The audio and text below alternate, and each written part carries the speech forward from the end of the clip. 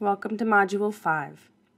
In this module, we are going to cover a series of chapters, chapters 20 through 24 in OpenStax Astronomy, that go through how stars form, how they live their lives, and how they die. As we get further into the textbook, um, starting a little bit in the previous module and, and certainly more so now and onwards, what we will recognize is that we are covering fewer and fewer of the small details of the textbook and focusing more and more on the big picture connections between the key concepts. This is because we're in a survey course of introductory astronomy, and although there's a lot of awesome stuff in this book, we are only touching on the kind of key ideas out of everything. A little bit of a little bit of all these chapters. For example, this particular chapter, chapter 20, Between the Stars, is all about what's called the interstellar medium, and I took an entire course of that in graduate school. So there's a lot here that we won't be talking about. I'm always happy to answer questions that you have from the book in discussion boards, but these lectures cover the key ideas that we need for our specific curriculum. All right, let's get started. So, as a reminder of where we've been and a reminder or a thought to where we're going, what we've discussed so far coming out of Module 3 when we talked about Chapter 5 in OpenStax Astronomy, and in Module 4 when we started to talk about Chapters 17, 18, and a small piece of 19, is that there's a lot of different properties that we can measure about stars. So, for example, back in chapter 5, when we talked about black body radiation and that spectral curve uh, when we introduced it, we learned that we could figure out a star's surface temperature by looking at where that curve has its peak. If the peak is mostly in the red or infrared, it's a colder star than if the peak is mostly in the blue or ultraviolet. We also talked about the fact that all of those absorption lines in a star's spectrum tells us about the chemical composition of that star, what elements are act actively present. And eventually in chapter 15, we added that it's possible to figure out how much of each of those elements are there as well. And then the last section of chapter 5, we talked about how the motion of a star towards us or away from us is something that we can also measure from a star's spectrum using the Doppler shift. Then we added to our understanding in chapter 17, uh, 18, and 19. So in chapter 19.2, we talked about how we can measure the distance using stellar parallax. We only talked about it briefly, and mostly it's making sure we understand that it is possible to use that to measure the distances to nearby stars. We're not necessarily trying to do those calculations ourselves for this particular course. We also introduced the idea of luminosity, a star's true brightness, where in order for us to calculate that luminosity, we would need to know how bright the star appears to be in our sky, the apparent brightness, and account for the distance to that star. We talked about mass and how binary stars are required for direct inference of a star's mass.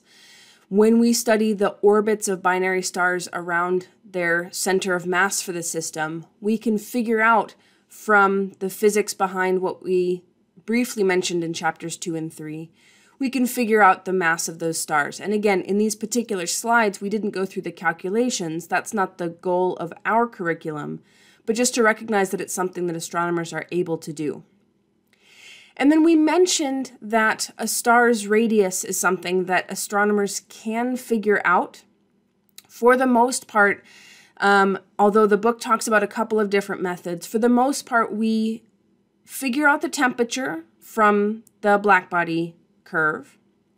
And we figure out the luminosity from a star's apparent brightness and distance. And with those two numbers, we did see in our slides an equation that allows us to figure out the radius.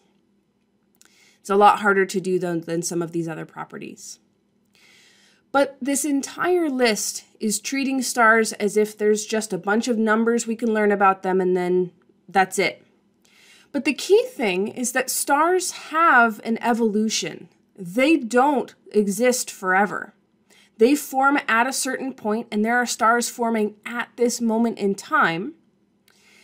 They live their lives, and they live a lot longer than uh, our human civilization's really able to think about, but they still have an end point.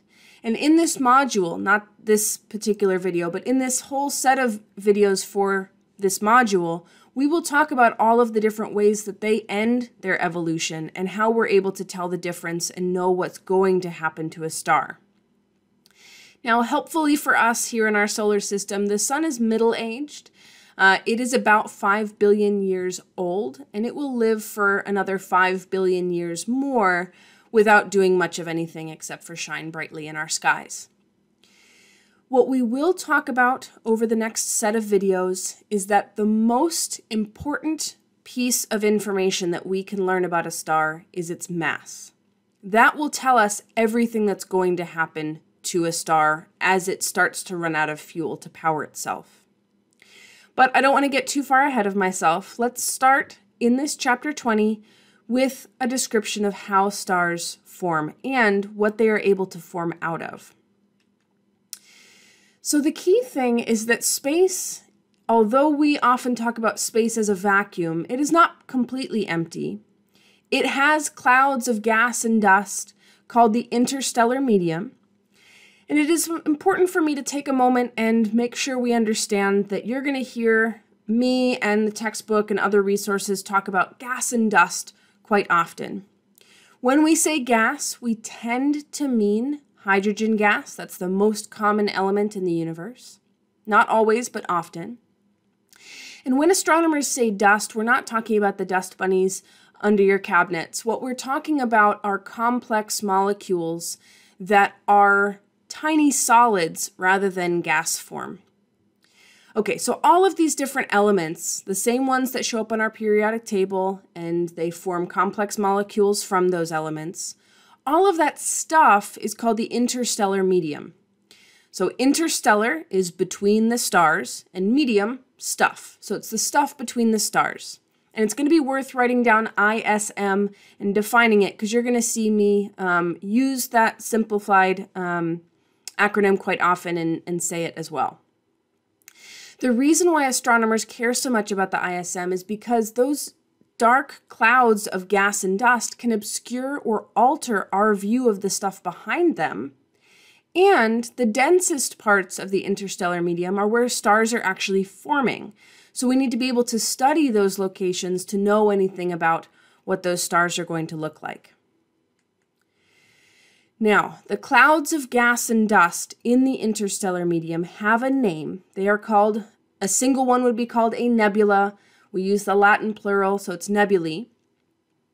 There are three main types that we are going to cover in this course for the clouds of gas and dust.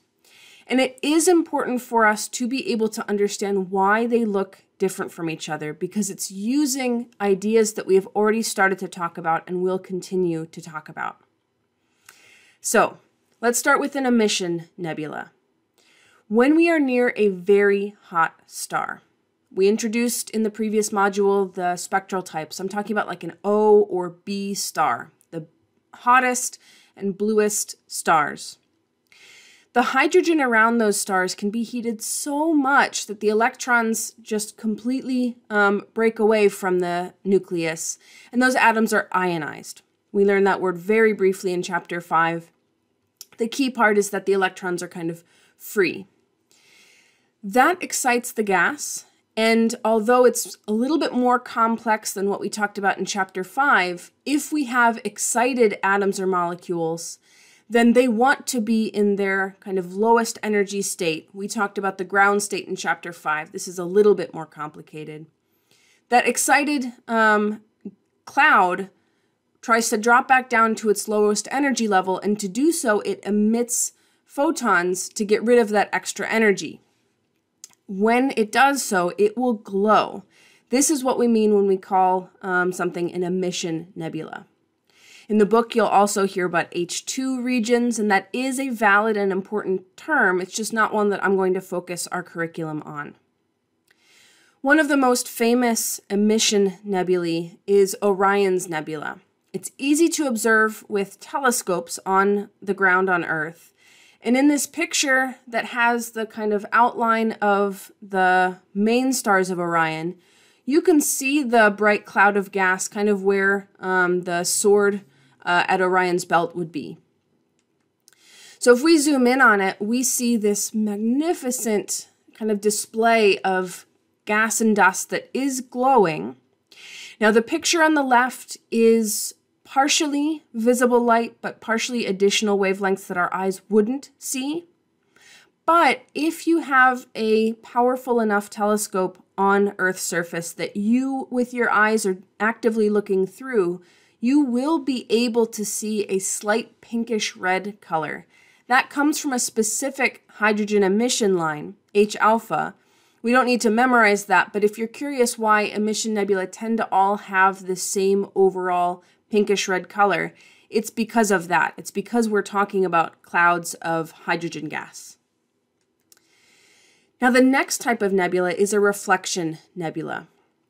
The key difference here is that in the previous example, the emission nebula, the gas itself was creating its own light. It was glowing. A reflection nebula is not making its own light. Instead, it just scatters nearby stars, the light from those nearby stars, it scatters toward our general direction. The clouds of dust tend to scatter red and blue photons differently. Red tends to continue going off in one direction, and blue photons scatter a lot easier. That's one of the um, big reasons why our um, clear skies during the day are blue, while our sunsets tend to be reddish in color. It's because of this difference in how photons are able to scatter. And to be a little bit more clear about it with a diagram, if we were trying to look directly through the dust at stars behind a dust cloud, the stars themselves would actually look a little bit redder than they're supposed to because that dust is scattering the blue out of our um, line of sight. However, if we are looking at the dust cloud from the side, the way that we do with reflection nebulae, all we're really seeing are the blue colors that are being scattered toward our telescope because the red continued off in that direction. So this process is called interstellar reddening. If we are trying to look past dust at the stars behind it, they will have a slightly redder color and it will look different than a star that is simply colder and redder looking. Astronomers are very much able to tell the difference between interstellar reddening and just red stars. All right. The last type of nebula is a dark nebula. It's a dense cloud of solid grains of material, so much more dust than gas, and it looks dark in visible light. It looks kind of ominous in this picture here. This is Barnard 68, a um, very famous dark nebula. And it almost looks like someone has just cut a hole out of space, like this weird void. I've even seen um, one not so scientific article that compares this to a black hole. They're not at all the same thing. All this is is a dark cloud. We can use infrared light to basically look behind that cloud and when we do, we can see that there are just as many stars behind it um, as there are to the side. It's just that that cloud is blocking the visible light from coming our way. This is kind of like a more extreme case of interstellar reddening. The visible, all of the visible colors are being scattered away, but the even longer wavelength infrared light is able to keep going on its path through the cloud. All right, so we have a couple of examples that I want us to ponder. So these are pause and think questions, which means once you've figured out what the question is, pause the video so you can take a moment as long as you need to decide what you think is the best answer. So what we're looking at here is the Horsehead Nebula. It's named because it kind of looks like um, a horse head or, you know, a chess piece. Um, and what of our options here would best categorize this particular nebula. So pause and think about it.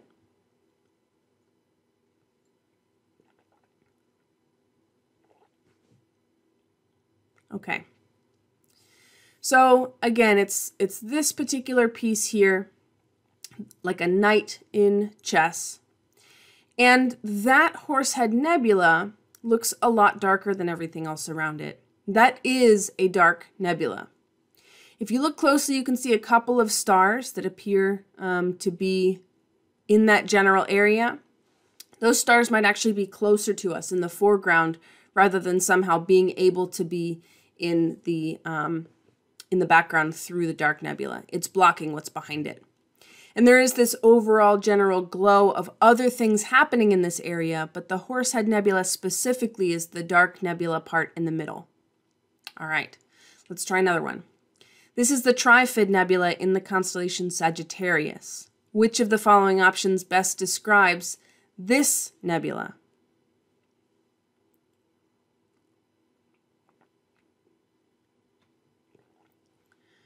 Okay, hopefully you paused. If not, now's your chance. If you looked at this picture, you may have kind of had an instant idea that it was one thing, and then as you looked more, you realized that there's a lot going on here. The key part to this question is that there is this option of other to remind us that it's not always cut and dry. Every single one of these nebula types is clouds of gas and dust. And if we have an overall structure of gas and dust where some of it is being heated so much that it glows, but other parts are just reflecting um, starlight towards us, and even denser parts are blocking starlight, we can have everything happening in one picture. The tri part of the trifid um, might have helped us notice this as well. So we can see this kind of overall pink bubble almost around what looks like a very bright star. That is showing us not just the emission nebula, but also helping us understand what causes that emission nebula. Those bright stars right in the middle of this bubble of, um, of gas, of heated, glowing, pinkish red gas, that's what's causing that gas to be excited and heated up. As we get farther away from those hot stars, the gas and dust further away is no longer hot enough to glow, so it won't be a pinkish color, but it is able to reflect a starlight towards us as a reflection nebula, the bluer part, especially on the top of this particular picture. And then there are definitely regions that look like they are denser and darker, and those would be dark nebula as well clumpier parts of more dust than gas in this same overall region. So the answer here is other because all three of these different nebula types play a role here, but they are very distinct and can be picked apart. And that's one of the most important things I can try to convey here. So we will leave off in chapter 20 here. There's a lot more in the textbook that we aren't covering. Uh, and so I urge you not to worry too much if you see topics show up in the book that we haven't covered. It means I'm not focusing on them for our particular curriculum. Um, but it is worth making sure we recognize that this is an overview of what's available for stars to be made out of. Our next video is going to go into the process of how stars actually form. So I will see you in that next video.